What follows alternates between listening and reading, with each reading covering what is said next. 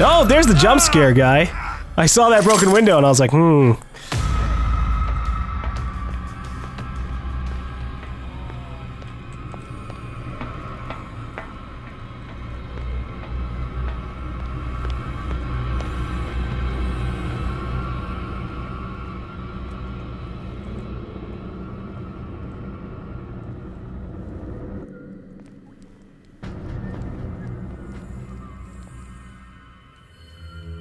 His eyes are open. Damn it.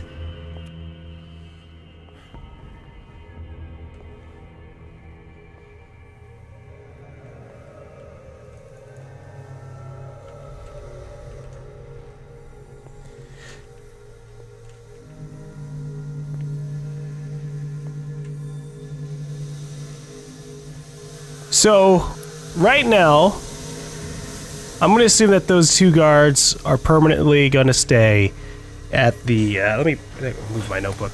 Uh, so right now, I have to assume that the two guards that were at the exit are permanently distracted by the gas.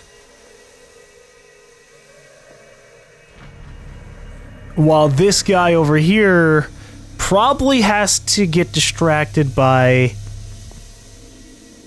something in general. I wish we could throw a rock or something, you know, pick up a pebble and make our way through, but we can't.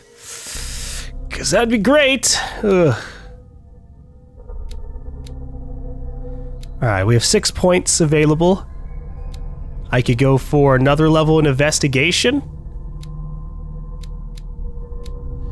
Which would max us out and maybe actually allow us to start opening locks. It also helps with the past events thing.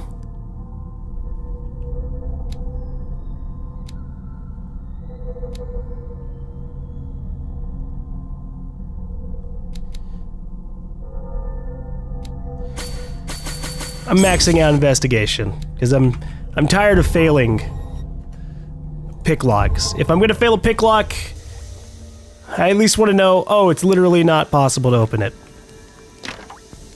It's no use. The padlock won't give. Ah, he's not even gonna try again now that I've leveled up. That's fine, whatever. Okay, so I need to do something. Ah, I wish I could make saves here, but I can't.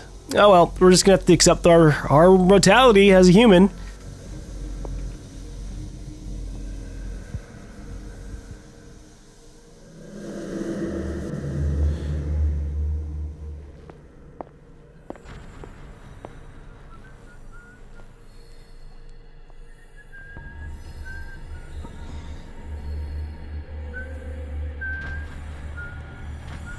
There could also be another way into the room. I'm hoping that that's it. We're gonna we're gonna investigate something.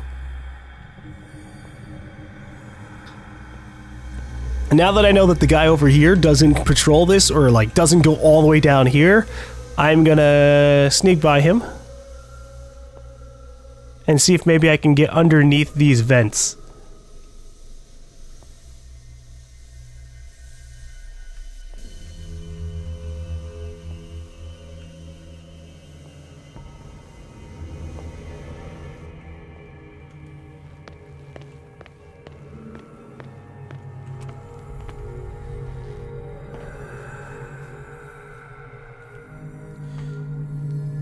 Not happening.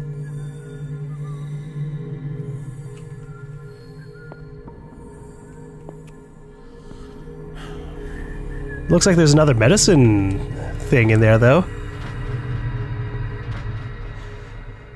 Hmm, I really don't want to piss off anybody.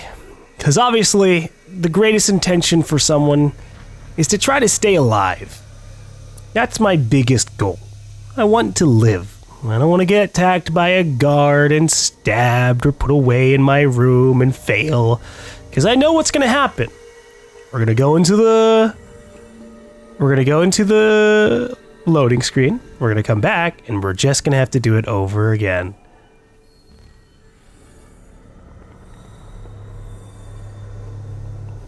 And that's not very exciting to me.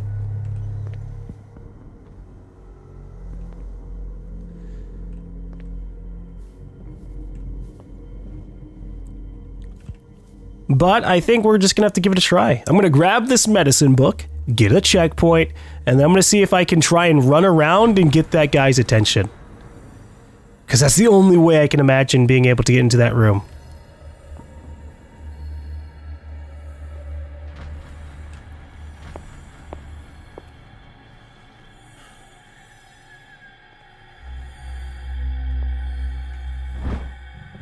Alright, the controversial practice of bleeding is still exercised today. This book explains in minute details of the different methods as well as the instruments required. These methods are outdated, not very effective, and it is to be hoped that the reading of such a work is purely for historical purposes. But I got more medicine practice here.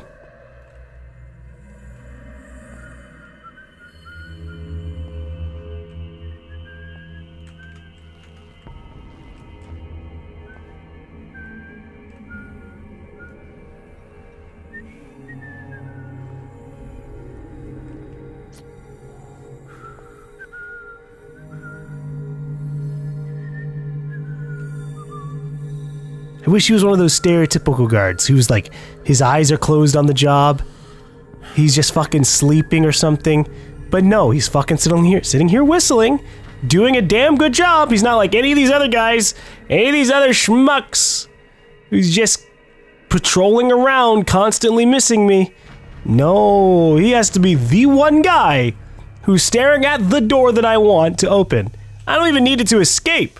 It's purely for the sake of, of, of science, for for discovering and testing out our hypothesis. So fuck it, I guess.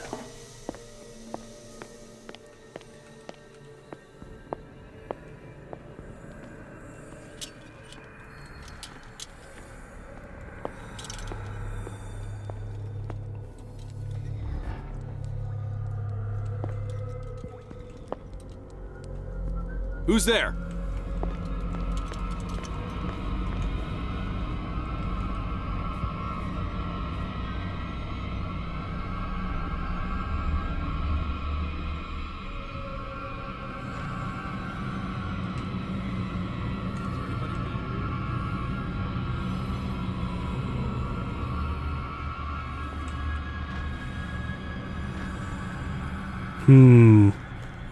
And does he just go back to the fucking wall?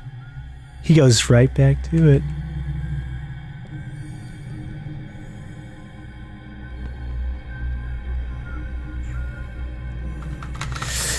Alright, viewers.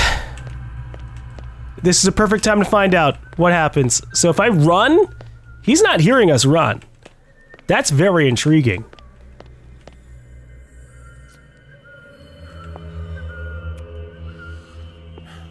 I'll go take a look.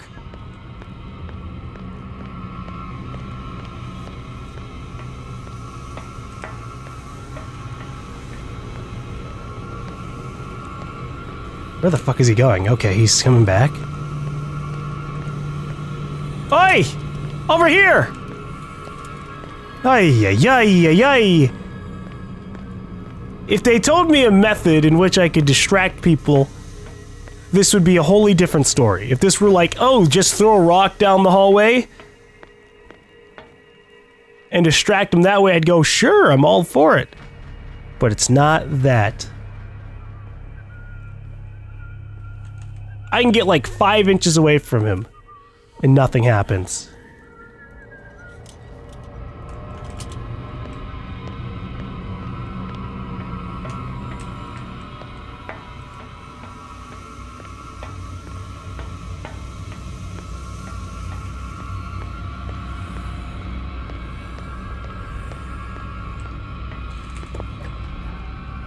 What carnage? Okay, I'm in. Thank God. I mean, not that I want to be in this room specifically because holy shit, but I finally distracted the guy enough that he just super wandered off. And he ain't coming in here because this is a mess. Jesus. You gotta be kidding me. It's not letting me pull the switch. Okay, fine. Let me look at things here. I'm not really discovering any information. I'm just kind of in a room with a ton of body parts and people. Which I can't really do anything with. I can only be like, oh, this is a creepy room.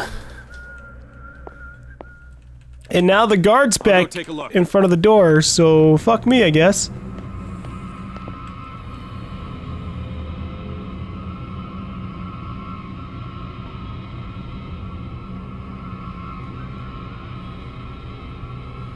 Well, at least he doesn't close the door.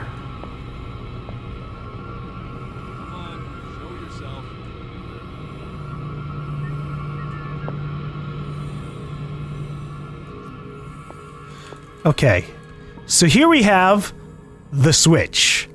I went through all of that effort to active or to come in here so I could pull the switch and activate the machine. But for some reason, I can't pull the switch. There's no indicator here. There's nothing that makes my character say, "Ah, yes, I must need to do this in order to activate the switch." Nothing. So I don't know what to do about that.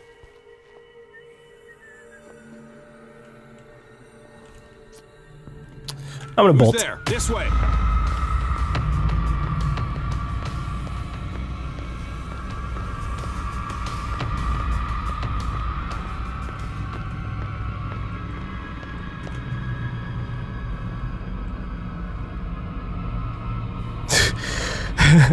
I just said fuck it.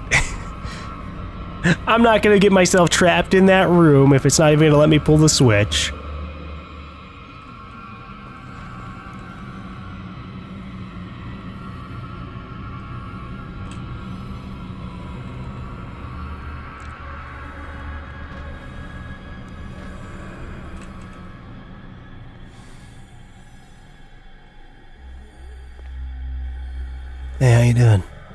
Dude, everybody's got the same fucking look. This, this like, like dark hair, dark facial hair, looks like Charles, looks like me kind of look.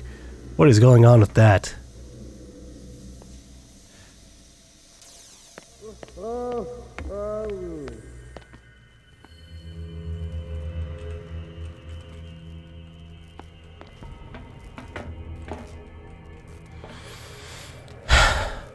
So, okay. I think I know what the issue is here. I think it turns out What is going on here? that you actually can't do both methods. I think this is one of those poorly conveyed things where literally the only points of either the gas thing or this is to distract the guards.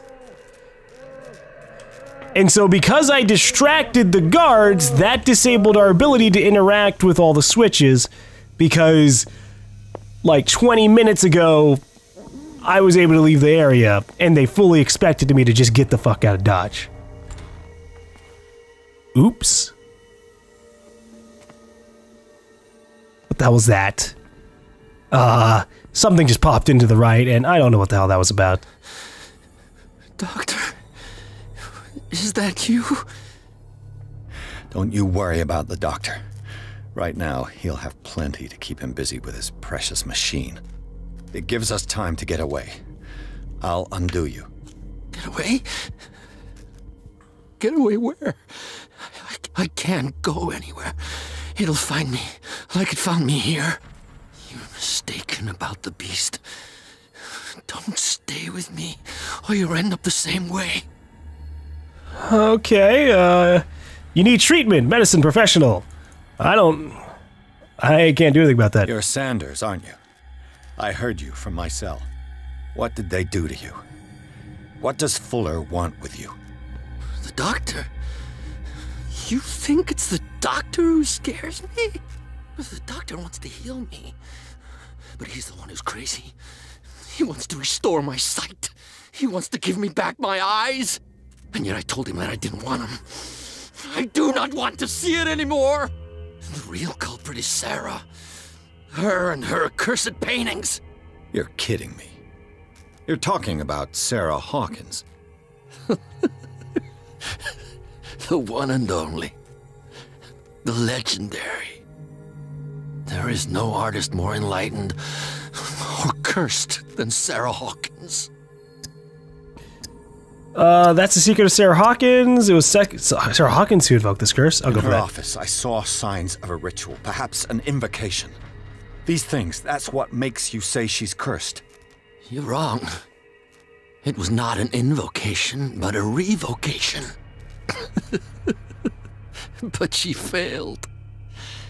And that's what counts. What's going on on this island? I'm.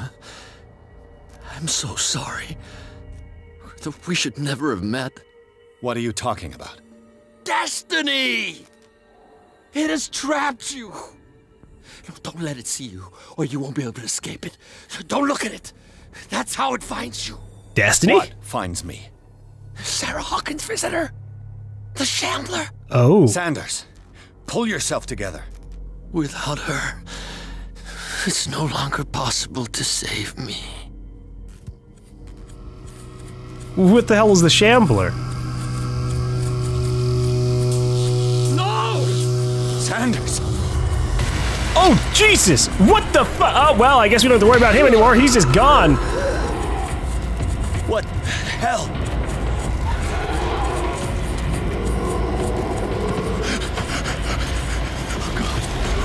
Oh my god, just snapped his neck! I gotta.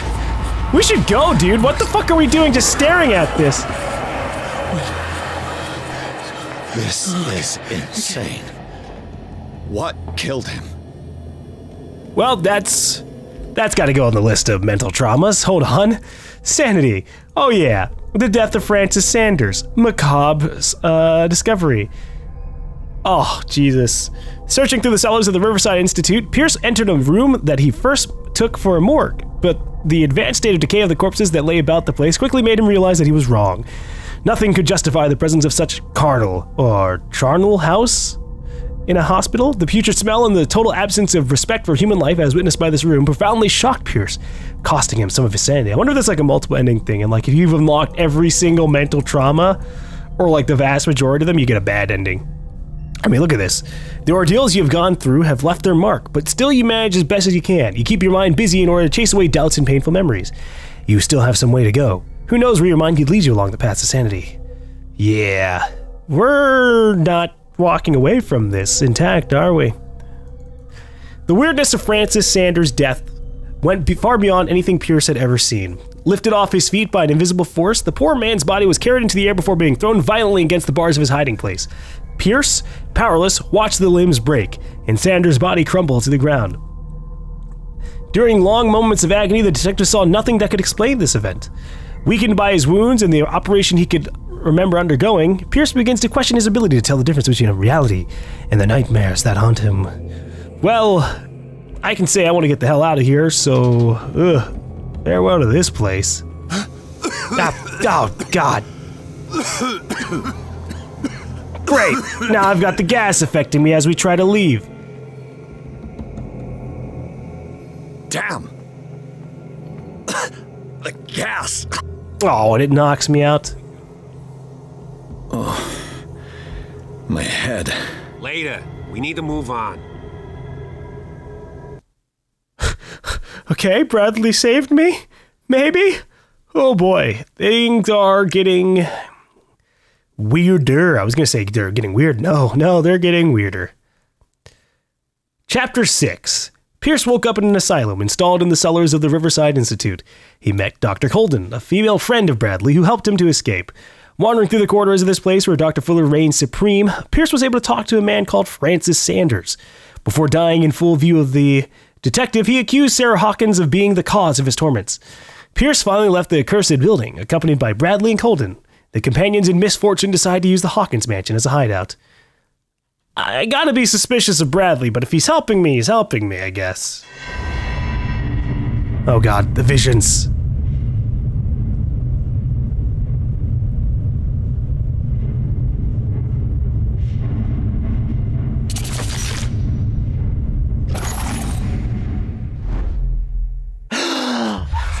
Who goes there?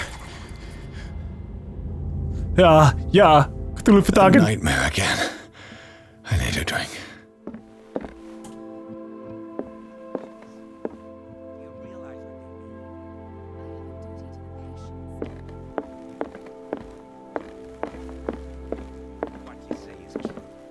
That is precisely why I'll find evidence. Fine. Do what you want. I'm just trying to reason with you. This is pleasant. I'm glad the mansion doesn't always look awful. With a little bit of lighting, and hopeful music, suddenly everything changes. Maybe, maybe things won't go that bad. How do you feel? Terrible. Did I sleep long? The day is only starting. It's fine. All right, well, what's Bradley know and what's he willing to help us How's with? our fugitive? Dr. Fuller hasn't reported your disappearance to the Force, but that'll come soon. Bradley? Who else would it be? Mr. Pierce, are you all right? You look like you saw a ghost. I. th- There are things I can't explain. Tell us. What happened? Oh god, Sarah Hawkins was the object of a cult, but we can't say that. What they had me endure, I might be onto a lead, talk to Colden, talk to Bradley. This is like a a choice, maybe. I have flashbacks. They haunt me. What did they do to you? There was that doctor, Fuller, and a nurse. Blood everywhere. My legs, the pain, I, I couldn't bear it. I was screaming. They injected me with something. I woke up at the Institute. Bradley was there. And how you scared us. You seemed demented. You likely woke up during the anesthesia. No wonder those memories haunt you. What in God's name were they doing to you? What happened afterwards? When I woke up the second time, I was in a padded cell. That's where you found me, Doctor. After you released me, I got a good look at what's in store for the patients of the Riverside Institute. Hallucinogenic gas pumped into the cells, an infernal machine, horrific medical experiments. Impossible. Dr. Fuller would never do such a thing. You should believe it, Ethan. What Mr. Pierce saw is precisely what I've been trying to prove. Did you discover anything else? Quite a lot of things. I think, okay, so either this is like a serious choice of like who we're supposed to trust. Uh, I'm gonna talk to Colden because while it might be like a twist that, oh, the revived Bradley is actually just legitimately Bradley and he doesn't remember things, but he's still trustworthy, uh, I'm gonna go and hope that they don't do the twist that Colden is actually pretty crazy herself. Okay, it's actually okay, okay, okay. We uh, we're totally fine. It, it- it's it's legit, legitimately just a a branching conversation path. Given the energy he pours into Riverside, I presume it was Fuller's creation. His father's, to be correct. He was a surgeon on board the Scylla. He founded the hospital in 1904 with funds from the Hawkins family before he died and his son Thomas Fuller took over. Two families inextricably linked. Most island families are that way. Captain Fitzroy's father was also a seaman aboard the Scylla. Powerful families dominating everything. Yes, and as you could tell, Dr. Fuller is like some crazed emperor. He wouldn't be happy if he knew we were snooping around. I know the risks. I don't fear him. Do you wish to know anything else? Everything, Miss Colden. I found a file bearing Sarah Hawkins' name in the Institute's basement. It makes sense. A powerful family like the Hawkins had the means to hide such a disgrace. But everyone knows the Fullers have been taking care of the Hawkins for at least a generation. And all were aware of Mrs. Hawkins' fragility. Perhaps, but no one would allow a psychiatric internment. From what I read in the file, Fuller used her as a subject of his experiments. Francis Sanders and Sarah Hawkins, subjects of Dr. Fuller. Why those two? It's because of what they've seen, what they've come in contact to. Okay, they probably legitimately helped me. Uh, they probably helped my leg heal and bring me back from probably the verge of death or outright death. But they did it through pretty illegitimate means, obviously. Illegitimate means that they've discovered via all their grotesque experiments with the occult and all the dead people. Dr. Fuller seems to be leaving a trail of corpses. Not to mention those strange machines, and chains, and tools of all kind. Yes, I've been telling you that Fuller uses his patients as guinea pigs. What I saw was more akin to torture than medicine. Do you even hear what you're saying? Dr. Fuller is highly respected.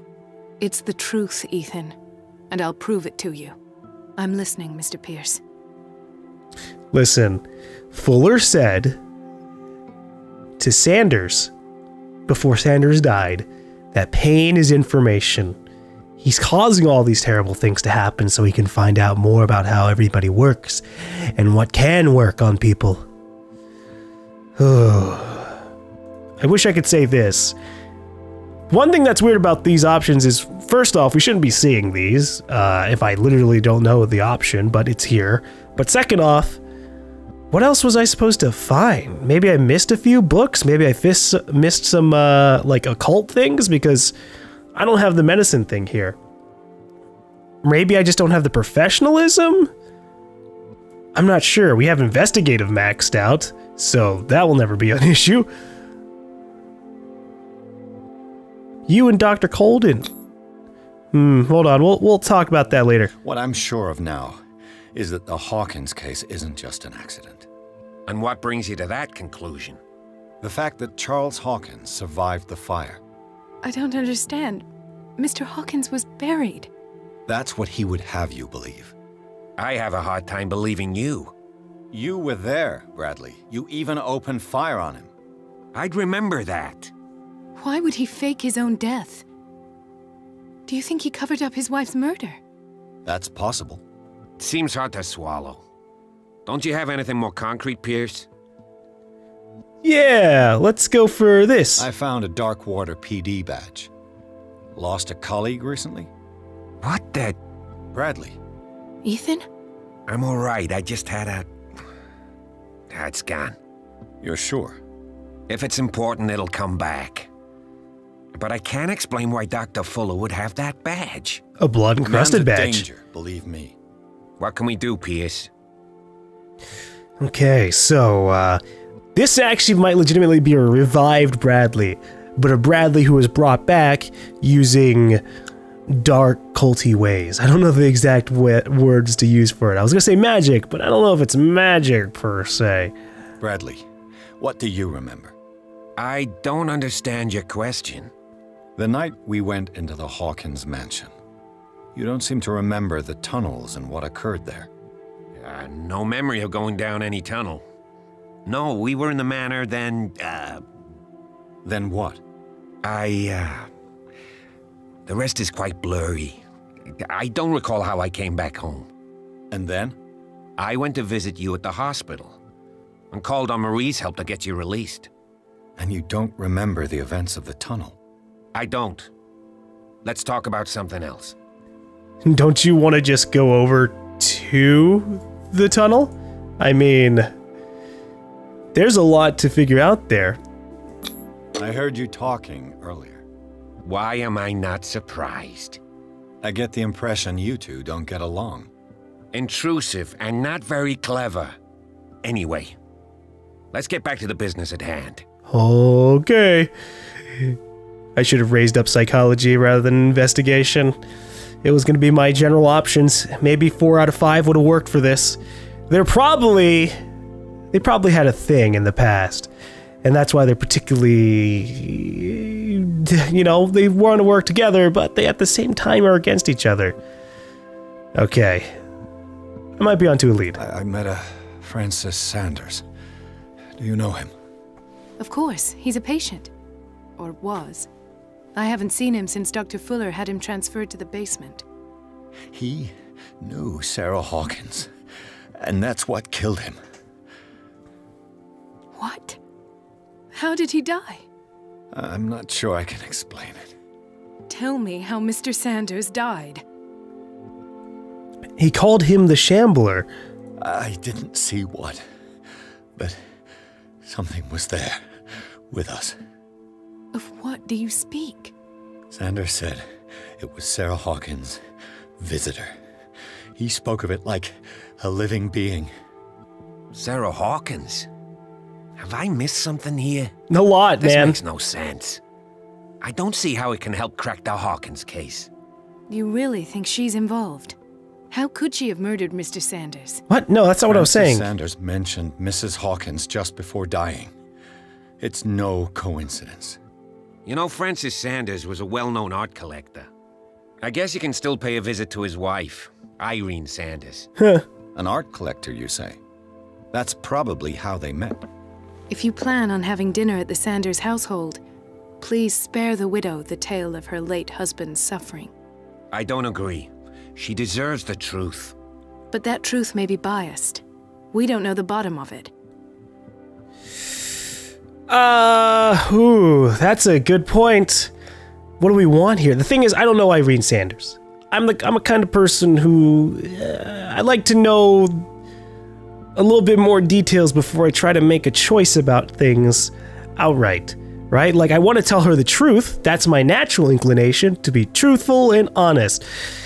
But if she's gonna like stab me in the face if I tell her her husband's dead, then uh, I mean, I prefer an unstabbed face over being a goody two shoes.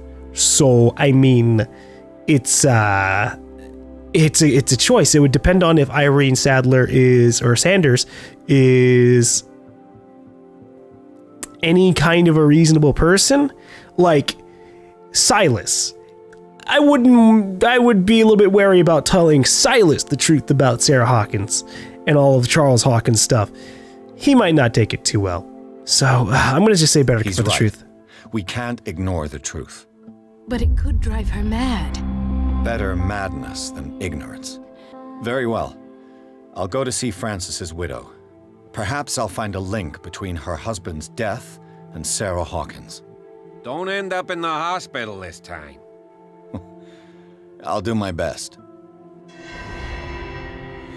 Okay, so I guess now we have to head back down and try and talk to people, and then there's all this. In theory, Francis Sanders was a renowned art collector. I must question his widow, Irene Sanders, to know more about his links with Sarah Sa- Hawkins and to discover the identity of the visitor he talked about before he died. The Sanders and, Hawk- and Sarah Hawkins uh, were close. It's undeniable. The widow didn't tell me everything, but her house speaks for her. Everything began with Francis Sanders' obsession with the Shambler, an exceptional painting in more ways than one. Wait a second.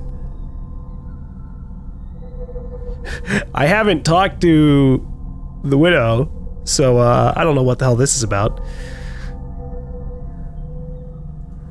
Okay.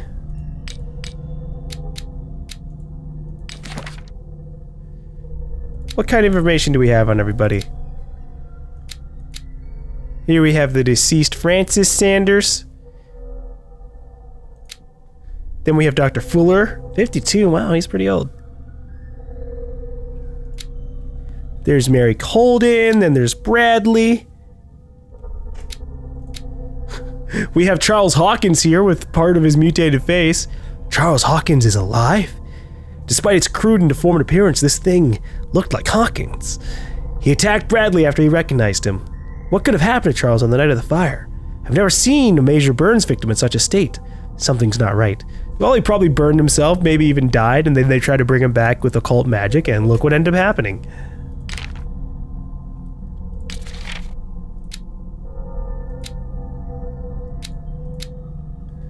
Let's see. A tribe of men, worshippers of the sea and its benefits, landed on the shores of an island surrounded by dark waters.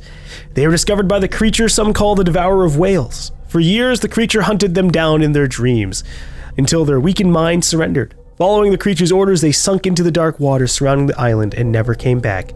Extract taken from the Malleus Best- Bestiarium by Abigail G. That's awful. Ceremonial Circle. If the creature is not yet anchored in our dimension, an expulsion ritual might work. As long as the person performing it makes sure that he integrates the elder sign among the glyphs that make up the ceremonial circle. Be careful though, because the works that describe the creation of such circles are not all of proven reliability. Yeah, that sounds pretty bad. Let us go now and learn the truth about what's happening on this island. I mean, I got a pretty good general Let gist. us go now and learn the truth. The other night's events are still confused in my head. So, Sarah Hawkins gets all these visions, yeah? She gets all these visions growing up, she because she has some kind of latent general connection to the Elder Gods. And then she does her paintings, it connects her more and more, she sees more and more visions, and eventually that connection leads her to Charles Hawkins. Charles Hawkins is from Darkwater, and Darkwater has already had possibly hundreds of years of connections with the Elder Gods through the old families. And so they ended up kind of feedback looping into each other to accelerate the process of trying to bring back something from other dimensions. And that caused a lot of shenanigans to happen. But we'll have to see exactly how those shenanigans play out.